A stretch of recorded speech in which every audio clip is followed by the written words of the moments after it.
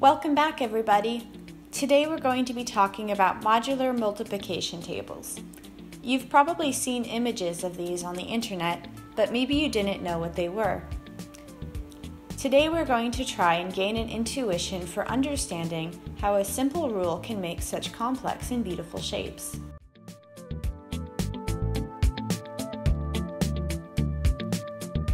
First, let's think about how these are constructed. Take a circle and then divide the circumference into any number of points, much like a clock face. We'll use 12 points to continue that analogy. Then you choose a multiplier. Let's choose 2. We connect every point to that number times 2, 1 to 2, 2 to 4, and so on. When we get to 7, 7 times 2 is 14, which doesn't appear on the table, so we connect it to 2 since 14 mod 12 is 2. Every modular multiplication table has two variables that identify it.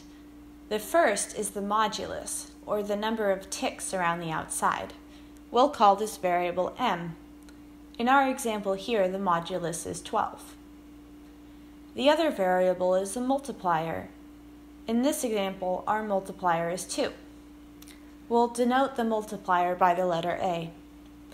The question is, what happens as we increase m but keep a the same?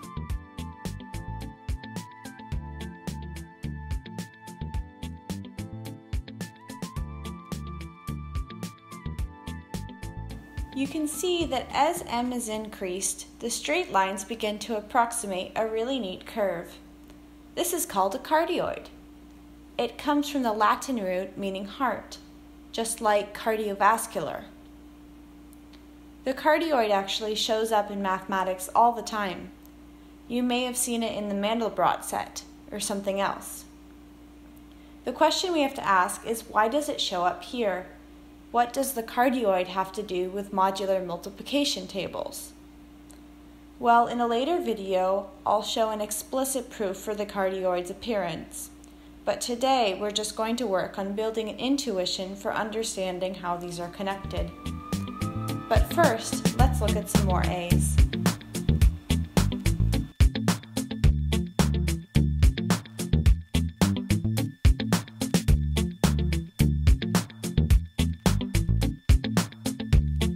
So you see that each time A is increased, the number of lumps on the inside of the table is also increased. This means that the number of lumps is always one less than A. When I first saw this pattern, I was utterly amazed. It's crazy that such a simple rule can make such cool shapes. So the question is, why does this happen? Let's go back to the cardioid to figure this out. So there are a few different ways to construct a cardioid. Uh, if you're familiar with polar functions, the general equation r equals 2a times 1 plus cosine of theta will give you a cardioid, along with some other polar equations. Um, you could invert a parabola around its focus if you're into that. Uh, you could take a circle and draw every other circle that has a, a center on the circumference of the first and intercepts the same point. It's kind of confusing to explain, but hopefully this visual will uh, help you guys understand. But the way that we're going to be focusing on is this. Take two circles of equal size. Roll one around the other one, tracking a point on the outside of the outer circle. There you go. Voila, a cardioid. So, the, qu- the important question to ask with this is how many times does the outer circle turn around? Let's count. Once, twice. But the outer circle only touches the inner circle once. This is the key to understanding what happens with our modular multiplication table. So if we look at our modular multiplication table, let's say that there are m points around the outside. The point where the outer circle touches the inner is right here at m divided by 2. And remember that we're multiplying each point by 2. So if we say m divided by 2 times 2, we get m. and m is directly across the circle from m, m divided by 2, so this creates a diameter, and it's the only diameter in the circle.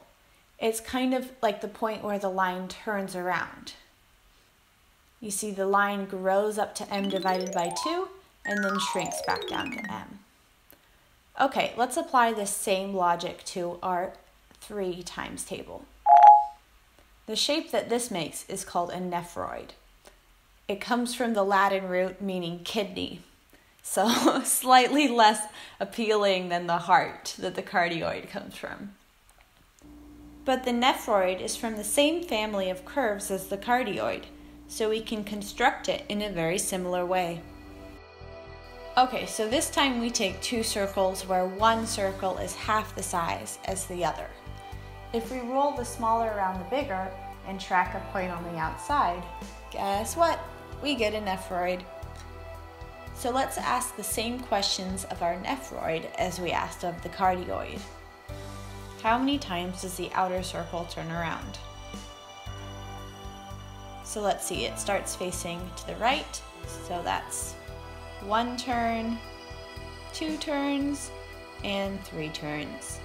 But we see that it only touches the inner circle twice.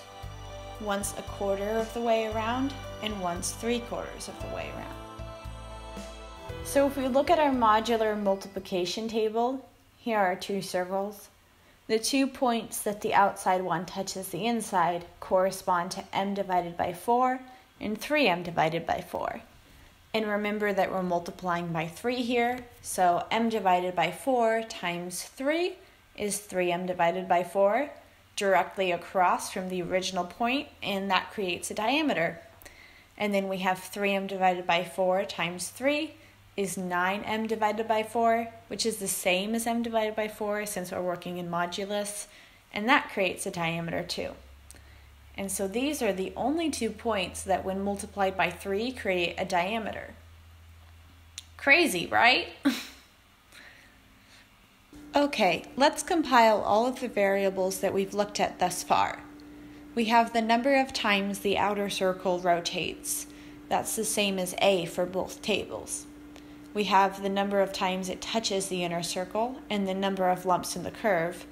These are the same and are both A minus 1. And then we have the ratio of the two circles. For the 2 times table, that's 1 to 1, and for the 3 times table, that's 1 to 2. Let's look at some more rolling circles. Here, the smaller circle has one third the radius of the bigger. It makes four rotations and creates a curve with three lumps, like the 4 times table. In this one, the outer circle is one-fourth the size of the inner circle. It makes five rotations and creates a circle with four lumps, like the 5 times table. You may be wondering why the number of rotations is always one more than the number of times it touches the inner circle. Well, you can see that if the smaller circle turns around once, it never touches the inner circle. This is how our moon works with the Earth. That's why we only ever see one side of the moon. If it rotates twice, it uses one of those rotations in making a circumference and then touches the inner circle with the other. In general, one rotation is always spent going around the inner circle. So that's why the number of rotations the outer circle makes, minus 1, is the number of times it touches the inner circle. So to summarize, we have the modular multiplication tables and the rolling circles. And these two very different actions actually make the same curves. The A in the modular multiplication table is the same as the number of times the outer circle rotates, with rolling circles. And the number of diameters in the modular multiplication table, same as the number of lumps in the curve, is equivalent to the number of times the outer circle touches the inner. And lastly, the ratio of the two circles is always a minus 1 to 1, a minus 1 being the bigger circle. So that's all I have for you guys today. Stay tuned for some other cool things with these images. We'll be proving why the cardioid shows up in the 2 times table and looking at how these particularly neat modular multiplication tables are constructed. As always, thank you all for watching and don't forget to subscribe.